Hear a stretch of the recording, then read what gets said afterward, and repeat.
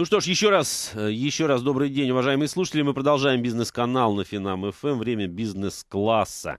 А сегодня замечательная тема, на мой взгляд. Мы будем обсуждать с вами э, интернет-магазин как бизнес. И мой сегодняшний гость, я попрошу его, по крайней мере, а, может и какие-то секреты успешного бизнеса в интернете нам раскроет. Тем более, что он человек в этом деле сведущий, как никто может быть другой. У него огромный опыт. Я представляю сегодня в студии бизнес-класса Игорь Тарасенко, генеральный директор молоток.ру. Добрый Здравствуйте. день. Игорь. Добрый день. Здравствуйте. Ну что ж, уважаемые слушатели, э, присоединяйтесь к нашей беседе. Телефон студии 65 10 99 6, код Москвы 495, сайт компании finam.fm. Звоните, пишите, задавайте свои вопросы моему гостю. Ну, давайте начнем, Игорь. Традиционный вопрос, э, да, как вы э, как пришла идея, как пришла мысль, как жизнь так сложилась, что вы занялись электронной коммерцией. Ну и я напомню все-таки, молоток.ру, это, по-моему, первый, да, первый опыт в России в 90-е годы появился.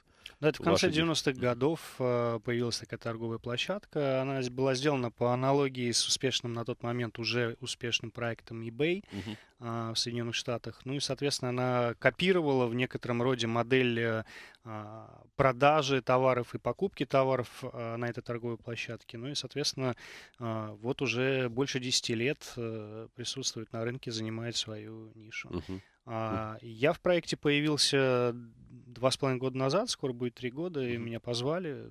Ну, наверное, понравился мой опыт. Поэтому... А опыт у вас был тоже электронной коммерции? А, коммерции, да, а электронной нет. Ну, то есть я... Чем вы занимались? Я, я был коммерческим директором а, кабельного оператора uh-huh. АКАДа в Москве. Uh-huh. А, ну и, собственно говоря, здесь, наверное, очень много было моментов, когда я сталкивался именно с интернет-отраслью, безусловно. Uh-huh. Ну, это учитывая то, что а. услуги АКАДа в том числе распространяются на проводной интернет, да? Безусловно. Uh-huh. То есть, там широкополосный доступ и uh-huh. кабельное телевидение. Uh-huh. Ну, собственно говоря... А, Эти опыт... вещи такие близкие, да, я так понимаю? Ну, провайдер и uh-huh. контент, да, да, да. Хорошо, хорошо. Ну, собственно, понятно, да, история, предыстория, точнее, вашего появления в этом бизнесе. А, как сейчас выглядит электронная коммерция в России? Насколько популярен этот а, сегмент? Э, ну, это интересно прежде всего с, да, нашим слушателям с точки зрения того, есть ли смысл этим заниматься. Я думаю, что да, отвечая на ваш последний вопрос. Угу. Действительно, смысл есть, э, ровно потому, что эта отрасль одна из самых развивающихся. Там, темпы роста а, именно в электронной коммерции составляют сейчас по разным оценкам от 25 до 35 процентов в год. Угу. То есть такого роста практически нигде нет, и более этого Россия опережает э, западные страны. Если сравнивать с Соединенными Штатами, там 17% в год рост, Западная Европа 15%, и только лишь страны БРИК э, растут вот такими темпами. Угу. Ну, кроме, кроме, пожалуй, что Бразилии, которая немножко отстает.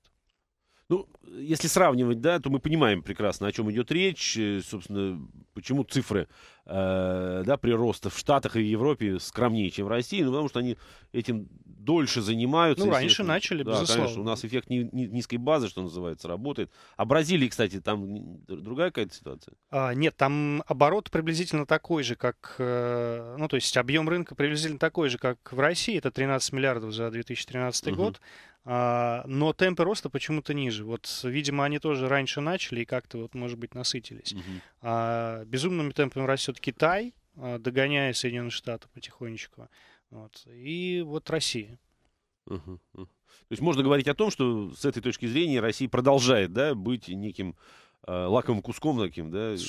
Абсолютно верно. Uh-huh. И многие зарубежные а, инвесторы uh-huh. а, смотрят на Россию с интересом, хотя и, естественно, с опаской. Но интерес у них все время присутствует, они вот думают, как бы сюда зайти и что uh-huh. здесь такое сделать, но время ну, тянут. Ну, это такой классический вариант, да, с одной стороны интерес, он обещает, да, хороший куш, а с другой стороны опаска, да. Ну, тут риски, риски понятно, совершенно, безусловно, связанные с, с, с нашей действительностью, ну, с, с, с инфраструктурой. Да, тут да, да. много всяких проблем, которые а, препятствуют uh-huh. да, этому развитию. И, и, и смело можно предположить, что если бы этих проблем не было, инфраструктурных, uh-huh. а, ну, прежде всего, наверное, это логистика и не совсем развитая платежная а, инфраструктура, uh-huh. то этот рост был бы еще больше. Uh-huh. То есть при условии того, что мы сейчас обогнали по проникновению широкополосного доступа в интернет, обогнали Германию и стали первыми в Европе по количеству пользователей доступа в интернет, Мгм.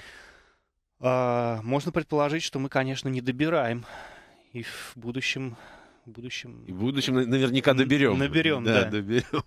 Я понял. А, э, Очень интересная тема. Значит, э, вот эти риски, да, ну помимо инфраструктуры, еще чего опасается иностранец, а, посматривая на то, чтобы затеять бизнес в Российской Федерации, ну, вот, в частности, тот, о котором мы сегодня рассказывали. Но я изучал эту тему, и в частности, э, многие исследования крупных зарубежных компаний а, просматривал. Основной риск это логистика, Мгм. ее отсутствие. Это таможенные ограничения, ну, они это скорее связано, конечно, с, с импортом, Ага. да, А, и платежная система. То есть у нас основной, если там сравнивать Европу и Россию или США и Россию, то а, количество сделок, совершаемых по так называемой а, схеме cash and delivery, Ага. Оно ну, превалирует. То Мгм. есть люди не платят э, кредитными Через картами, интернет, да, что не называется? платят через интернет, не интернет-валюты, да, они платят э, руками а, курьеру, Мгм. который не всегда, в общем, привезет то, что нужно. Да, да, да. Иногда и не вовремя, не да, иногда не вовремя, туда, где иногда, иногда и не курьер. Да, да, иногда совершенно верно. В интернете я видел такой крик души, что вот я уж не помню, о каком интернет-магазине шла речь, что, значит, позвонил курьер, говорит, так, я вас жду, вот сейчас, вот Да. здесь, вот, если вы не приедете, в теч- это курьер звонит клиенту, если вы не приедете, да, через 15 минут, все, я уезжаю, до свидания. Классика, да. Да, да, классика жанра российского, я так понимаю. А, Игорь, смотрите, ну, я понимаю, да, то есть проблемы, риски, связанные с таможней, наверное, для, российскому, э, для российского бизнесмена, да, они не очень актуальны. Не актуально. Не актуальны совсем, да, и слава богу. А риски, э, с- связанные с отсутствием логистики, да, или каким-то образом, Да. э, каким-то образом не, не слишком э, хорошо развитой логистики, они же ощущаются наверняка тоже. Ну, это, эта сфера бизнеса, она тоже развивается, и поэтому это, скажем так, supplementary, а, дополнительный к интернет-отрасли, к, к, к отрасли интернет-торговли развивается и вспомогательные сервисы, Мгм. которые становятся крупными бизнесами. А, Логистические центры открываются новые, да, какие-то компании, которые позволяют альтернативно доставлять быстрее, может быть, даже иногда дешевле и корреспонденцию, и отправление почтовые, Мгм. и посылки. Мгм. А, развитая сеть курьерских служб в Москве. Да, это, безусловно, Москва, она в этом плане лидер. А, но основная проблема, ну это не проблема, это данность. Это Мгм. Большая страна, Да. огромная. Да. И чтобы доставить э, что-то куда-то, надо понимать, что если идет большое количество заказов, то нужны сортировочные центры, нужны пересылочные центры и так далее, и так далее. Все это инфраструктура, все Мгм. это бьет по а, EBITDA, Мгм. А, снижая EBITDA margin Мгм, мгм. и отдаляя брейк-ивен проект э, далеко-далеко вперед. Поэтому именно этого боятся инвесторы. Иностранцы, ну, э, Когда россияне. они хотят быстрых, э, быстрого, быстрой отдачи, Ну, э, разве- возврата на инвестиции. разве- Здесь этого не происходит в связи с этим. Разве что только быстрые, да, именно поэтому. То есть они не, не- не смотрят на, надолго, может быть. Они хотят здесь и сейчас. Ну, Ну, российский коллега, тем не менее, он же пр- прекрасно это понимает, да, когда он затевает подобные мероприятия, он говорит, да, огромная страна Россия, да, все, что вы сказали, он, естественно, осознает, и тем не менее он согласен. ну я, я считаю, что это всего лишь Ага. временное Дело явление, времени, да. и на самом деле это большой стратегический шаг э, там, крупного иностранного игрока, который однозначно сюда зайдет и Мгм. со своей логистикой. Ну, мы точно знаем, например, что eBay уже а, зашел в Россию Мгм. и а, собирается инвестировать сюда. Уверен, что и Amazon в каком-то виде здесь появится. Мгм, Поэтому Мгм. дело времени. Ну и помимо этого, сам российский бизнес развивается, и, как я сказал, строятся новые центры, вот, э, вспомогательные бизнесы, они появляются, помогают. э, Кстати, конкуренция между э, российскими э, предпринимателями и э, американскими э, так сказать, коллегами не чувствуется? Ее сейчас не существует. Ее не существует в принципе, да? Ну, есть конкуренция за потребителя, безусловно. Мгм. Да. Потребитель привык уже, модный молодой человек, так называемый креативный класс, а, любит заказывать джинсы на eBay. Это мы уже понимаем. Причем джинсы ему везут из Штатов ведь, да? А, не, ну, не обязательно. Ну, да, везут из Штатов, uh-huh. конечно. И они здесь у него лежат на таможне uh-huh. два месяца, потом к нему приходят, он успешно возвращает себе деньги, поскольку это позволено. Ну, самый кайф, я так понимаю, э, для него, да, что он заказал через интернет, в eBay, ему привезли. А, самый кайф, конечно, в том, что это дешевле в два раза. Согласен. А, итак, Игорь, я прошу прощения, прервемся. Новости на Финам ФМ, потом продолжим. Так, друзья, итак, друзья, продолжаем эфир. Бизнес-класс на Финам ФМ. Меня зовут Олег Дмитриев. Сегодня в студии Игорь Тарасенко, генеральный директор молоток.ру. И тема нашего эфира – интернет-магазин как бизнес. Собственно, Игорь, да, чуть позже давайте мы поговорим о неких технологиях, позволяющих зарабатывать деньги а, в интернете. Но, тем не менее, первый мой вопрос э, сейчас в новой части эфира – а, вот этот человек, потребитель, да, ну или основной потребитель, основной клиент, основной покупатель интернет-магазина, еще раз, если можно, э, давайте нарисуем его, его облик такой. Это, как вы говорили, да, креативный класс тот самый. О зарубежных покупках, то, безусловно, это да. Угу. Если говорить о покупках у нас в России, в наших российских интернет-магазинах, это обычный человек, и здесь э, социально-демографические показатели не сильно разнятся от э, а, общего среза по стране. Угу. Э, даже вот в большей степени все это выравнивается за счет того, что более возрастная аудитория приходит э, в интернет постепенно с ну, все мы знаем, например, успех э, одноклассников, которые привлекли именно возрастную аудиторию и тем самым угу. насытили интернет э, новыми интересными людьми, которые раньше чурались интернета и считали, что это что-то такое страшное. А в то же время аудитория интернета омолаживается, то есть все больше и больше молодых людей появляется а, в интернете, у них уже есть деньги, и они готовы делать покупки. Поэтому, в принципе, социально-демографическая картина не сильно отличается. Смотрите, ну, человек, который э, познакомился с интернетом и принял его, да, ну, вот как ваш пример с одноклассниками, он же не всегда автоматически становится потребителем интернет-магазина. Нет, конечно.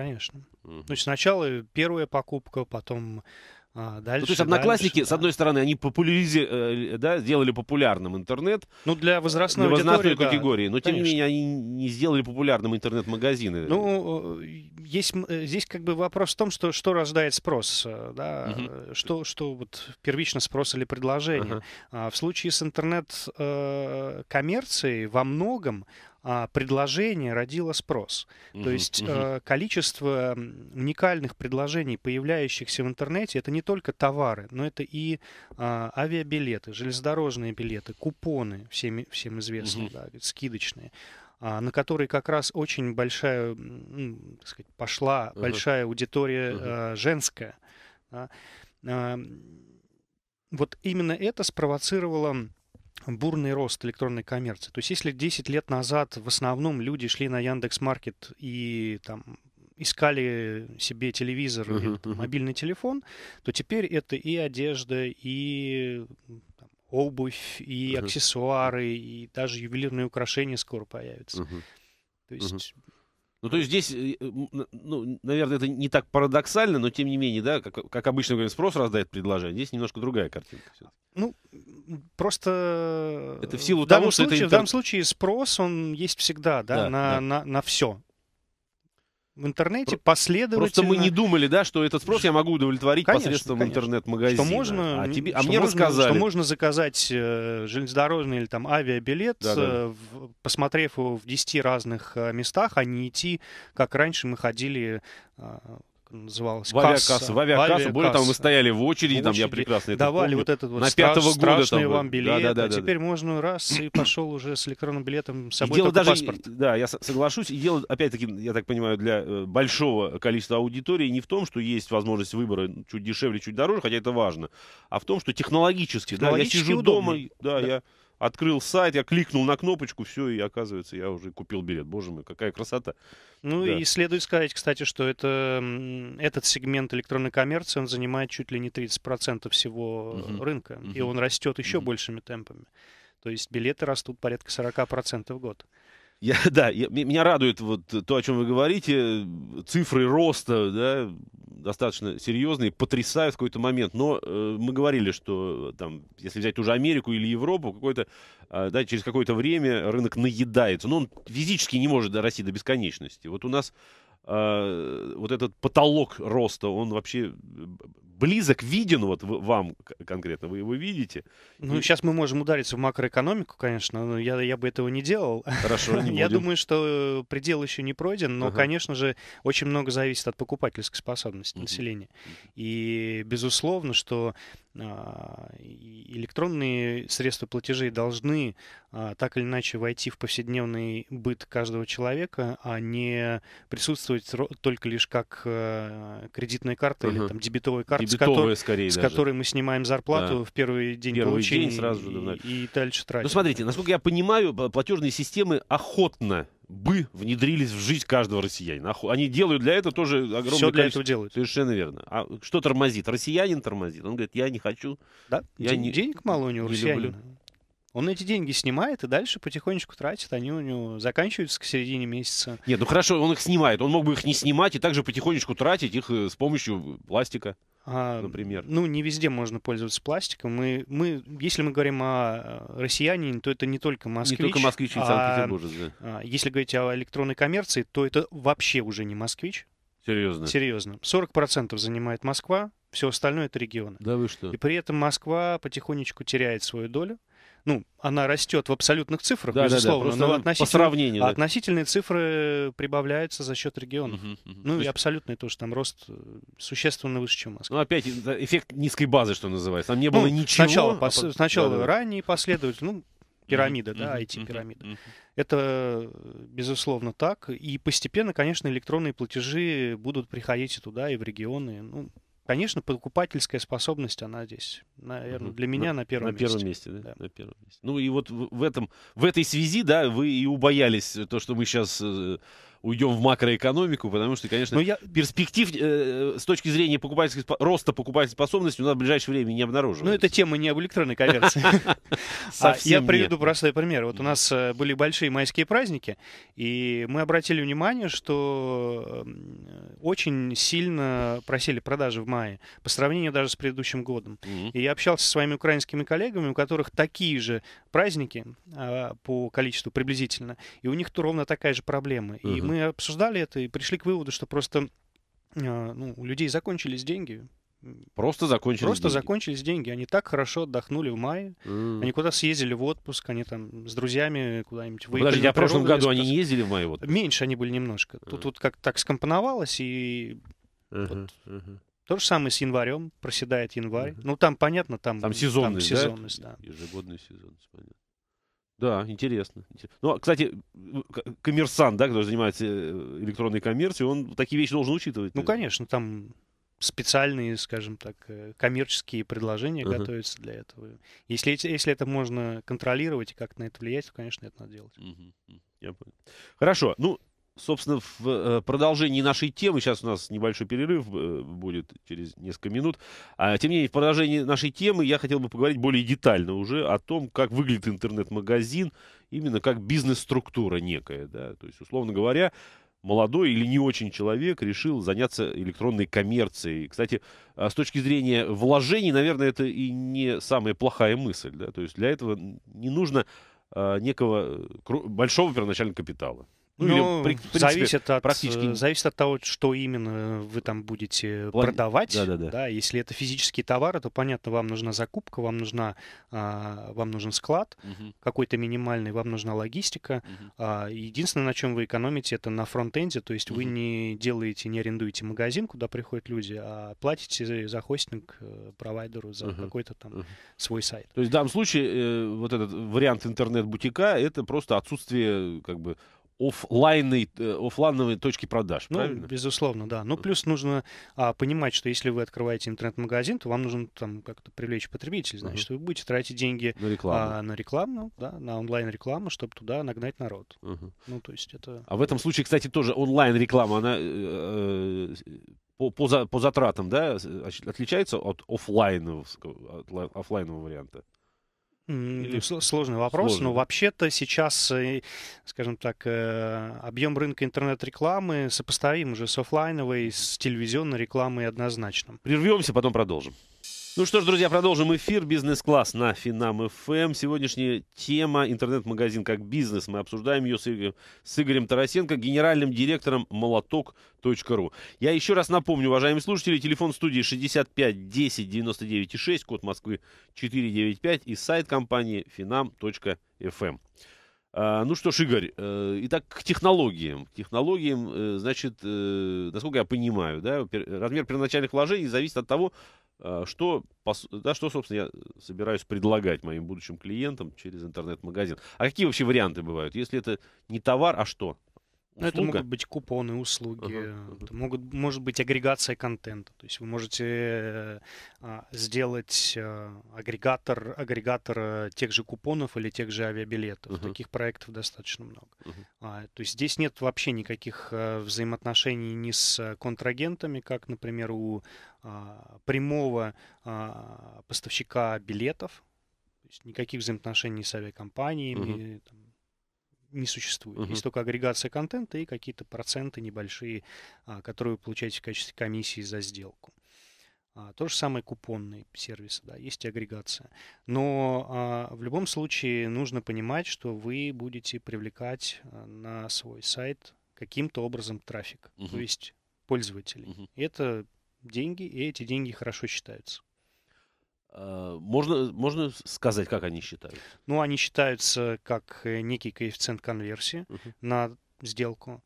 А, в среднем по а, России в электронной коммерции принято считать, что в среднем по больнице, неправильно, конечно, но тем не менее, в среднем по больнице конверсия, то есть это переход из состояния посетитель в состояние покупатель деньги, да? составляет э, порядка 0,6%, то есть меньше 1%. Угу. Это совсем это немного, много, да. это очень мало. мало. Да? Если сравнивать, с, с, например, с нашей торговой площадкой, то у нас намного больше, у нас там порядка 7% конверсии. Угу. А, но это, но все, это тоже это не, все... не идеал, я так понимаю, 7%. Ну, да? это э, на рынке таких э, примеров практически нет. А, да. То есть это очень скромнее. То есть 7% это нормально. Это очень много. Это да. очень много. В среднем по рынку это там 1-1,5% максимум. А, ну, из этих, э, из этих цифр можно посчитать, сколько вам нужно посетителей, какой у вас средний чек будет, uh-huh. если вы торгуете, не знаю, электроникой, у вас средний чек а, там, в районе 15-10 тысяч рублей, uh-huh. но при этом а, маржинальность в электронике составляет не больше 2%. Да? А, если вы там, занимаетесь одеждой, то у вас маржинальность от 100 до 200, до 300 до бесконечности. Uh-huh. Да, здесь можно этим играться. Но конкуренция, понятное дело, а, тоже достаточно высокая с офлайном прежде всего, где uh-huh. можно померить, где да. можно вернуть. Поэтому одежда, у одежды свои барьеры. Uh-huh. Uh-huh. Я понял. Хорошо. А, вер... Э, Возвращаясь да, к началу нашего разговора, я э, рассказывал о том, да, что, что молоток.ру это один из старейших интернет-магазинов, и он не совсем магазин все-таки, да, вот если об ну, этом... Ну, это не магазин, конечно, говорить. безусловно, это торговая площадка, открытая для всех, то есть любой пользователь, любой посетитель а, имеет возможность э, зарегистрироваться как продавец или как покупатель, uh-huh. что-то выставить на продажу, что-то купить, а, найти на торговой площадке договориться с продавцом о сделке угу. и оплатить. Вот, собственно говоря, такова модель. Молоток э, в данном случае берет комиссию за сделку. Угу. Это, в этом и есть бизнес. Угу. Ну, а если говорить опять о популярности, что более популярно э, ну, в России и в принципе, да, если говорить о электронной коммерции, угу. все-таки вот такой, ну, можно так, если уже говорить, классический интернет-магазин, да, либо не, некий аукционный дом, аукц... ну, вот, э, аналог э, молоток. Ну, а, давайте приведу просто цифры. Uh-huh. В России существует порядка 30 тысяч интернет-магазинов. Консолидация рынка а, порядка 8%. Это означает, что 8, ну, топ-10, топ-10 самых крупнейших интернет-магазинов, включая нашу торговую площадку, занимает не больше 8% всего рынка. Угу. То есть огромное количество магазинов, очень большая вот такая вот э, такое распределение и выбора огромной, конкуренция, соответственно, uh-huh. огромное количество денег, вкладываемых в рекламу, очень большое. То есть э, порядка 60-70% э, всей рекламы а, приобретаемой в, в интернете, контекстной рекламы, uh-huh. это реклама от интернет-магазинов. Это нужно понимать. То есть конкуренция растет. И если говорить о популярности, то понятно, что когда вы делаете поиск, а, а как покупают в интернете? Через, прежде всего, через поиск. Там, uh-huh в Яндексе или в Google ищу не знаю, там, микроволновые печи, я забиваю в поиски, и мне выдаются интернет-магазины, куда я иду, собственно uh-huh. говоря. Uh-huh. А, то понятно, что по закону нормального распределения вам будет выдано огромное количество интернет-магазинов, э, среди которых вы будете выбирать. Поэтому модель какая-то... А, понятно, что наибольшей популярностью пользуются обычные интернет-магазины, uh-huh. не, не торговые площадки. Uh-huh. Но у торговых площадок есть свои преимущества. Они могут, во-первых, объединять в себе все интернет-магазины, как это делаем мы, как это делает eBay, а, как это делают некоторые другие торговые площадки. То есть, грубо говоря, генерировать, агрегировать трафик на другие интернет-магазины, а также предоставлять уникальные услуги, то есть уникальные товарные предложения, которые а, недоступны для обычных интернет-магазинов. В силу uh-huh. того, что экономика немножко другая у торговой площадки, она никак не связана с логистикой. Uh-huh. То есть логистикой занимается кто-то другой, но я привлекаю трафик.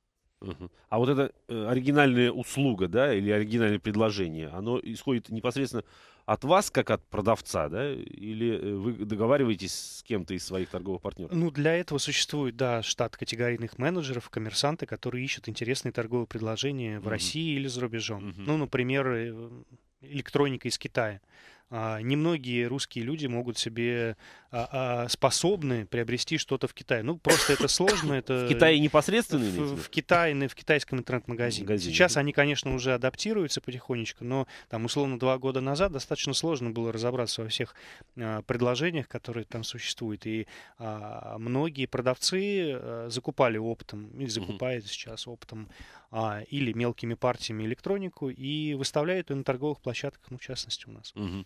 И здесь уже все понятно, это описание на русском языке, качественные фотографии, и ты а общаешься кстати, с русским человеком. Да, да, что важно, что естественно. Важно, да. Я когда забил, предположим, в Гугле, да, в поиске микроволновки, он мне выдаст только э, российские предложения, или там могут быть и иностранцы?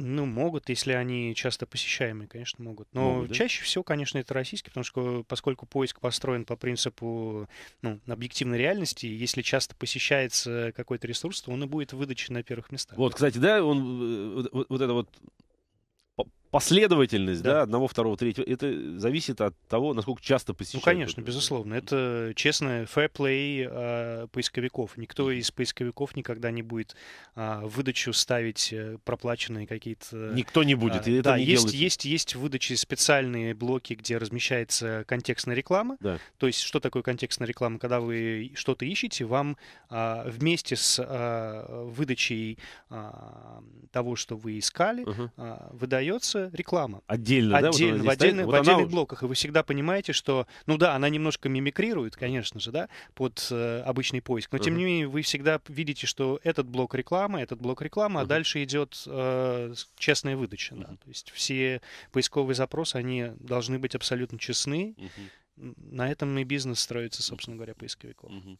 И вот возвращаясь к этой идее, да, попасть в первые строчки я могу только лишь, э, соответственно, э, что-то у себя в консерватории, да, подкрутив, чтобы mm. меня чаще, чаще э, смотрели мой сайт, и именно тогда я смотрю. Ну, есть определенные правила, это наука называется SEO, mm-hmm. Search Engine, uh, то есть поисковые запросы. Да? И, соответственно, а, здесь есть определенные правила, как должен быть построен ваш сайт, какие слова должны быть написаны на сайте, угу. какие заголовки. Опять, чтобы он а, зацепил того, чтобы, кто даже случайно кто-то... Да, абсолютно, чтобы была правильная индексация вашего сайта, то есть, грубо говоря, а, обработка поисковиками вашего сайта в его поисковой системе и определение места в иерархии поисковой выдачи. Угу. Да? Для этого ваш сайт должен, был, должен быть построен определенным образом. Есть соответственно, специалисты, на которых тоже придется потратиться. Угу. Их зовут SEOшники. SEOшники. Да, а, соответственно, есть очень много всяких интересных, э,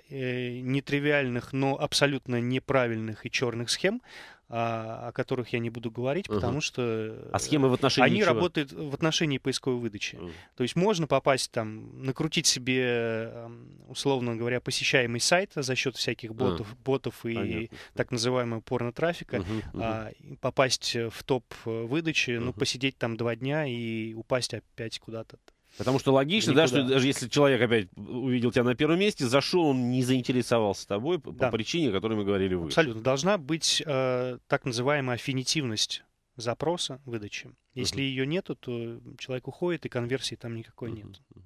То есть себе дороже, что называется. Себе дороже. Себе это дороже. просто обманывают, uh-huh. так сказать, умельцы обманывают незатейливых пользователей. Да-да-да. А те а, вроде бы обрадовались, да, да что, оказывается, вот, вот так можно На первом месте, да. Но день прошел, и нет. Я понял.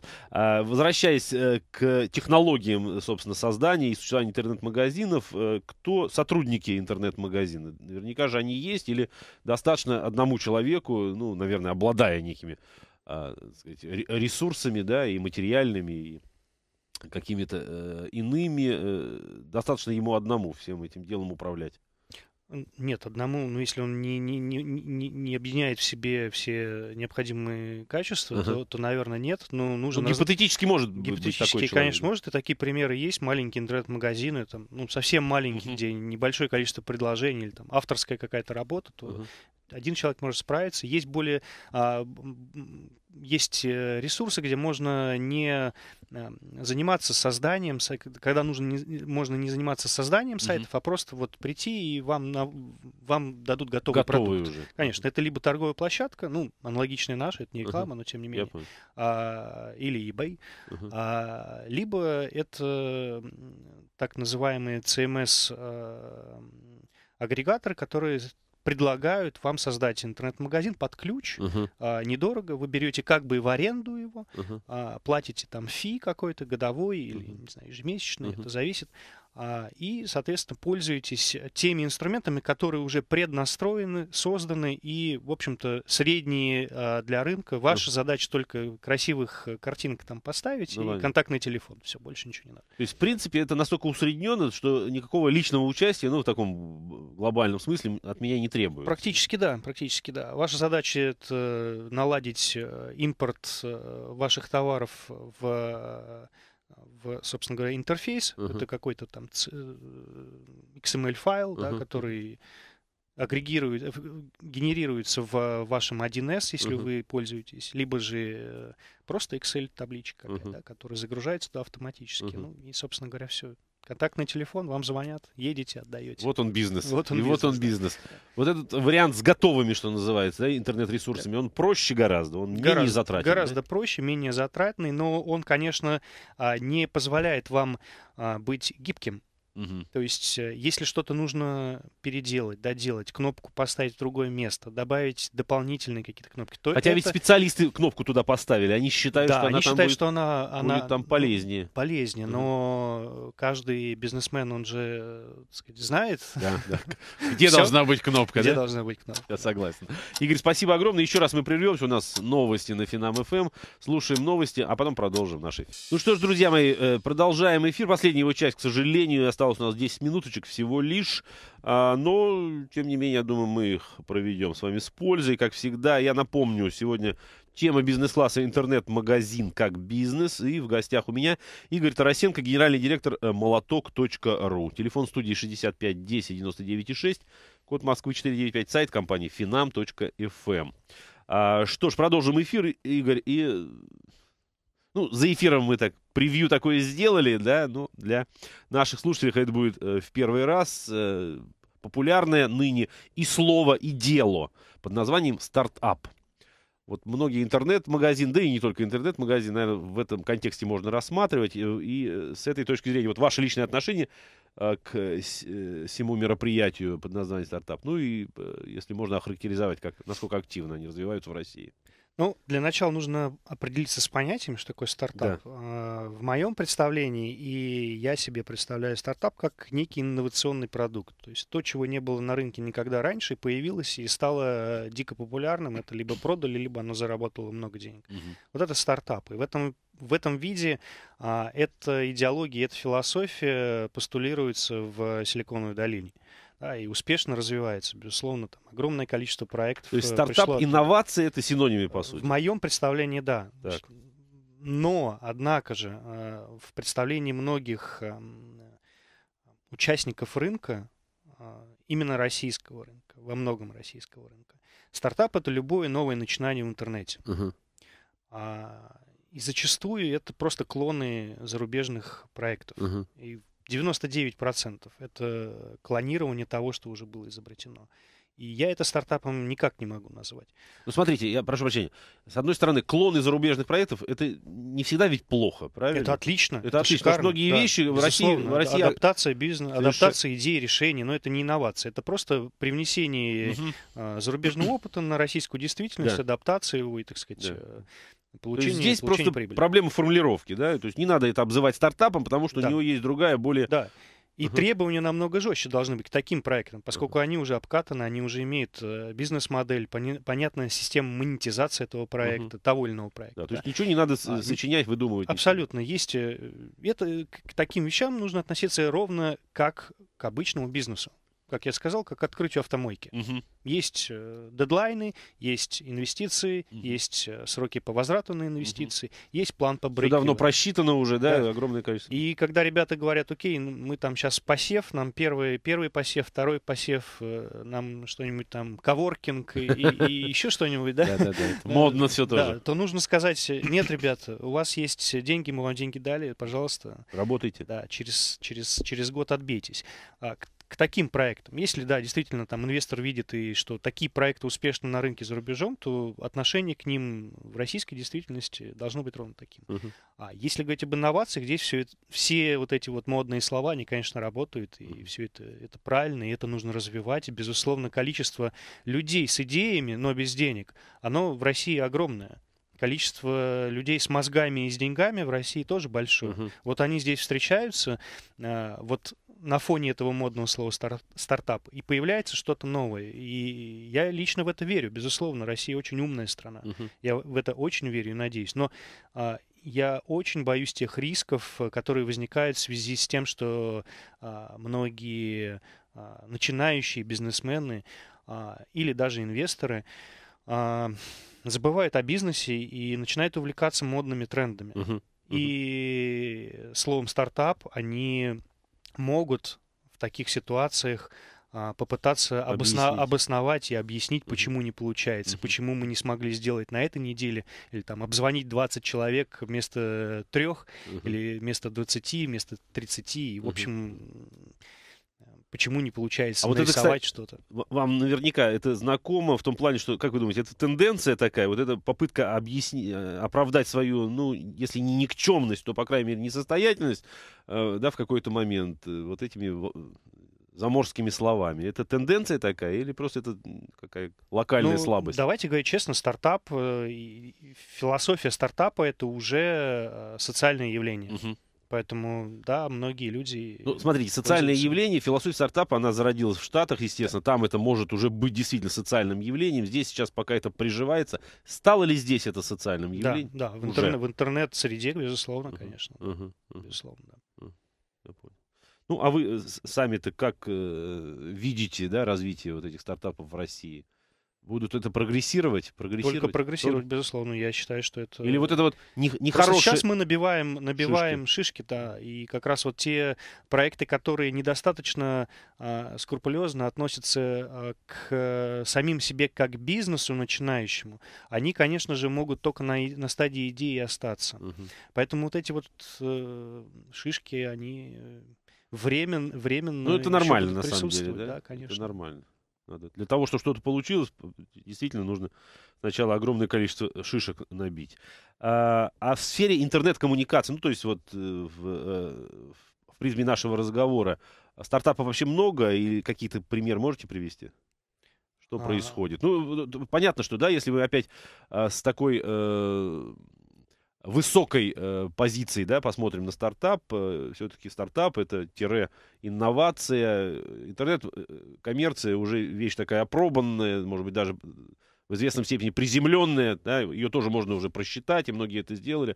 Вот, пожалуйста, заводи, покупай ресурс, да, за- за- заводи туда табличку из Excel и начинай зарабатывать деньги, если уж у тебя получится это дело. А инноваций много в этой сфере есть? они? Если говорить о коммерции, об электронной коммерции, нет. Уже Здесь, нет. здесь нет инноваций, здесь скорее а, доведение модели до идеала. Это прежде всего в области логистики, конечно же. А идеал есть вообще в этом А, смысле? Ну, есть примеры зарубежные, да. Есть и Amazon, который там, самый гигант, Мгм. самый большой. Есть eBay, Ну, смотрите, гиг- Asos. вот его ги- гигантомания амазоновская, да, она говорит именно о том, что он близок к идеалу, ну, если не идеал, да, потому что именно рост в конечном итоге, да, а, говорит о успешности проекта. Конечно, Ага. конечно. Ну, а в России? Ну, в России, в моем представлении, будущее за консолидацией рынка, это за большими сделками. Мгм. Это а, объективно для этого рынка, который сейчас очень рассредоточен. а, много маленьких денег э, везде разных лежит. местах, да. Соответственно, Мгм. их нужно собрать. И вот э, процесс консолидации начался. Уже мы точно знаем и видим, что эти процессы идут. Мгм. Последние сделки с Ландой и Авито, а. Сапата и Озон это подтверждают. То есть можно говорить, что в российской, а, на российском рынке э, выделяется ряд э, какой-то ряд крупных игроков, и в конечном итоге там через пару-тройку лет именно они будут на этом рынке э, править бал. Да, абсолютно. Если не зайдет кто-то третий из-за рубежа и зальет сюда миллионы долларов. Тем более возможность такая у этого третьего есть. Безусловно. Мгм. И тогда э, силь- сильно, да, э, так сказать, что называется, соотношение сил может. Ну, просто конкуренция будет выше, Мгм. еще больше денег будет у э, тех, кто делает рекламу. Они, я думаю, да, с, Они будут с рады, удовольствием конечно. да, э, к этому бы отнеслись, конечно. конечно. А, еще э, очень интересно ваше мнение, вот мы, собственно, эту тему пытались уже озвучить э, соотношение сил. с- Ну, как правило, да, мы говорим о, о интернете, мы говорим о каких-то технологических прорывах, а может быть и просто развитии технологий, а, и сравниваем Россию и, э, ну, давайте так, столицу и всю оставшуюся Русь Мгм. мы сравниваем. Вот здесь есть, сейчас пока вновь, да, возвращаясь к этому, э, остается диверси... э, отличие, отличие, да? Ну, в чем? В соцдеме, в, в, Ну, в технологиях. потребителях? Нет никаких, никаких отличий. Ну, отличий. то есть понятно, что большинство интернет-магазинов находится в Москве и Питере. Мгм. Есть Несмотря на то, что их аудитория может а быть аудитория, далека а, а аудитория уже находится не в Москве. Ну, то есть А, 40% э, покупок совершается москвичами а, и жителями Московской области. ага. 60% покупок совершаются всеми остальными регионами. При этом э, Питер это 15% Всего лишь. всего лишь. Да. Да. Да. То есть э, Вот такое соотношение. почти половина покупок это регион. А, кстати, вот, э, вот такая картина аналогична, что я э, ориентирую, ну, создавая интернет-ресурс, интернет-магазин, да, я буду ориентироваться на регионы России, но при этом э, этот магазин появится в Москве у меня. Такое. Ну, это нормально. Это просто нормально? логистика из Москвы легче, чем из регионов. Ага. Это э, по сравнению, да, что мы, я не знаю, там условно из Питера во Владивосток летаем, да, ну, Да. не из, из Магадана в Владивосток летаем через Москву. вот что- Абсолютно, примерно да. так что-то. Ну, да? То есть доставить из Новосибирска в Сыктывкар э, сложнее, чем из Москвы в Сыктывкар. Мгм. И опять надо опять э, вспоминать о том, да, что вот э, проблемы с, с логистикой, да, они сейчас еще актуальны для российского Актуальны, рынка, да, да. и, соответственно, будут каким-то образом, по крайней мере, это надежда такая есть. Ну, да, это тоже вот для, Ага. для начинающих бизнесменов это очень интересная тема. Здесь тоже можно поработать. именно вот Именно в логистике. в да, логистике. конечно. да. Поскольку растет рынок интернет-коммерции 30% э, в год, то Мгм. надо успевать и за ним тоже. Мгм. Я понял. Хорошо. Ну и, и последнее, да, собственно, мы обсудили с вами э, вот этот вопрос, кто эти люди, которые являются сотрудниками интернет-магазина. Я так понимаю, что э, вот э, маленький интернет-магазин может поднять один человек, да, а если все же у него э, значит, взгляды более широкие на эти вещи, то он привлекает профессионалов, либо Ну, должны быть разработчики, дизайнеры, маркетологи. А, Ну, лучше всего, вот как э, с- с точки зрения, да, э, открытия интернет-магазина а, э, обратиться к готовому ресурсу и с, э, в этом смысле тоже, да, обратиться уже к компании, которая специально занимается ну, маркетингом. Смотря, какой, смотря на какой объем вы рассчитываете. То есть, если вы всерьез и, и, и надолго, и надолго да, собираетесь заходить, то, конечно же, лучше делать все самому и с нуля. Если же вы хотите просто попробовать, у вас есть какой-то уникальный товар, например, ну, я не uh-huh. знаю, вы шьете сумки uh-huh. авторские. Ну, зачем вам заниматься созданием интернет-магазина своего, там, хостинг ну, да. какой-то и так далее? Вы идете, ищете готовое решение, пробуете, пытаетесь. Это же обычный интернет-сайт получается, uh-huh. это обычный интернет-магазин, вы покупаете рекламу, нагоняете туда трафик и экспериментируете. Здесь вы а, не вкладываетесь вот в, в, в фронт-энд, в разработку никак практически. Uh-huh. Это экономит ваши деньги. Но если вы точно знаете, что ваш бизнес, он будет строиться не только из авторских вещей, а из э, чего-то глобального, uh-huh. нужно делать самому. А компромиссный вариант невозможен. Смотрите, я значит, привлек уже имеющиеся ресурсы, попробовал, у меня получилось, и потом у меня, естественно, планов громадье, я решил развиваться. И тогда что нужно делать? Э, уже имеющиеся перестраивать или сказать, ну давай теперь я попробую сам? Вот Не, ну на объемах, конечно, лучше самому уже все делать. В любом конечно. случае, да? Да, ну, естественно. Угу. Я понял. Хорошо, огромное спасибо, Игорь. Э, значит, время наше, к сожалению, заканчивается. Уважаемые слушатели, я еще раз напомню, мы сегодня обсуждали тему интернет-магазина как бизнеса и, в принципе, поговорили о том, может ли а современный человек преуспеть в открытии своего интернет-магазина, как правильнее, да, собственно, создавать все с нуля, в какой момент это правильнее, создавать все с нуля, или прийти уже на готовую инфраструктуру. Сегодня у меня в гостях был Игорь Тарасенко, генеральный директор молоток.ру. А, спасибо еще раз спасибо огромное, вам. Игорь, да, ну я с отрадой в очередной раз услышал, э, в этой, в этой отрасли, в этой сфере у нас тоже а, а, хорошие перспективы. Я имею в виду э, российской действительности. Вам, уважаемые слушатели, спасибо огромное за внимание. Как всегда, мы прощаемся до завтра. Успехов в бизнесе. До свидания.